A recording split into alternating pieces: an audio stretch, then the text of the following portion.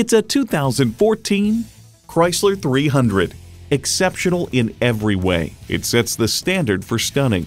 And get ready for an impressive combination of features.